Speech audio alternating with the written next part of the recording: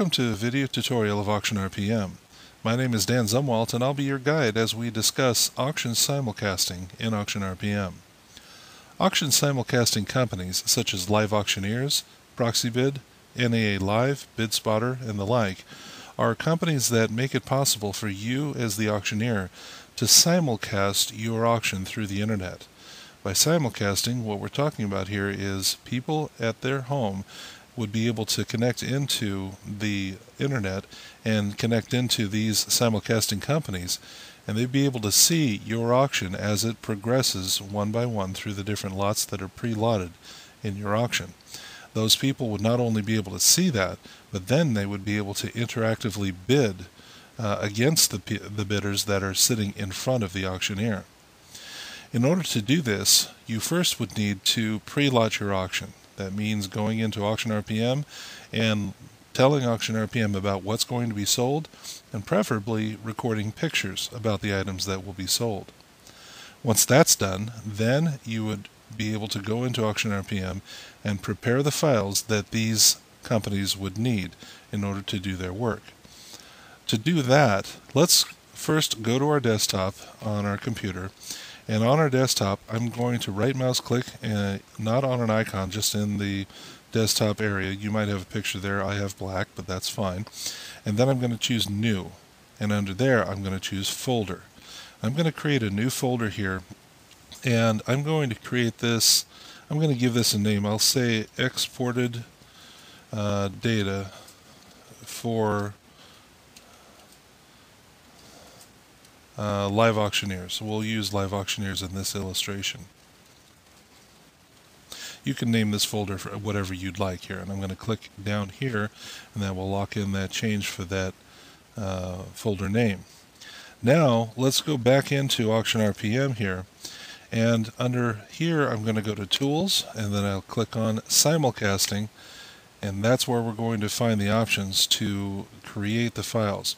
Now you can see under simulcasting we have live auctioneers, we have Proxibid, we have NAA Live, and these different options here are what is used in order to create the uh, exported files that will go to those particular companies.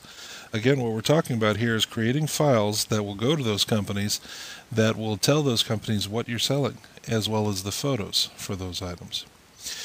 So now what I'll do, since uh, this illustration we're going to use live auctioneers, I'll click on this option here, Create Export Live Auctioneers Files. It'll ask what auction I want to export to the live auctioneers system. And this, these checkboxes indicate whether I wish to include estimates or include reserve prices in the data that goes to live auctioneers. I'm going to leave those unchecked and I'll hit Create Files. Now it wants to know where I want to save that information.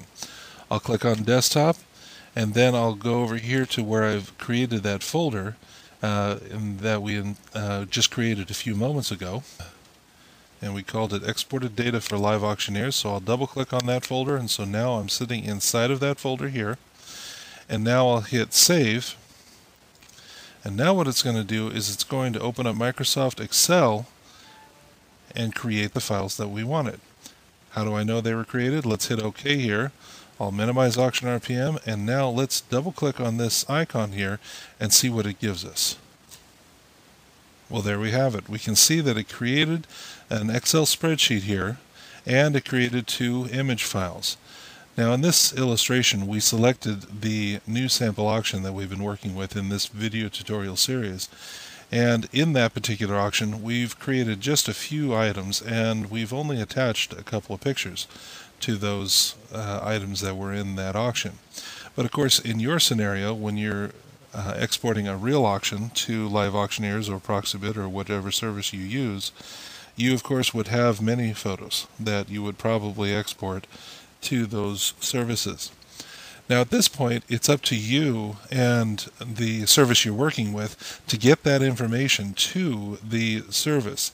Uh, that service would have various instructions that they would need you to follow in, as to how to transfer these files to their services. Sometimes it's a uh, FTP uh, connection. Uh, FTP stands for File Transfer Protocol and it's a method that is used to transfer files over the internet from one computer to another. Or they might have a different uh, manner of up updating and uploading these files to them. So we would need to defer to the instructions that you would receive from that particular service that you're using at that moment. Now once these files have been uploaded to whatever service you're using at that moment, then you're going to be given the opportunity of seeing over the internet the the uh, auction itself, the catalog. Different services have different serve uh, options and services that they give you, such as maybe the garnering of absentee bids or left bids before the auction starts. This is all part of what you'd want to talk to them about. And the other thing too is that each service has their own schedule of fees that you would need to consider before choosing which service you wish to use. Now you'll notice that with Live Auctioneers we have this option here called End of Auction Processing. Uh, right now under Proxibid and NA Live we do not have that option available yet. We're talking to them at this moment and uh, hopefully we'll be releasing a new version of Auction RPM that will have the end of auction processing for those other services. But end of auction processing allows for the after auction settlement of the bids that have been entered in through the internet to this service, to live auctioneers, and it would transfer that winning bid information into Auction RPM.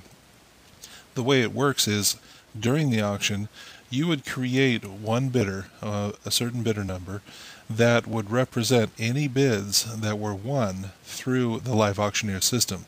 Let's say it's bidder number 500. So any bid that was won during the auction through live auctioneers, that gets a bidder number of 500. Then what happens is once the auction is completed and you go into end of auction processing here, you would uh, select a couple of different items and then you would settle out with each bidder that won items for your auction through the live auctioneers system.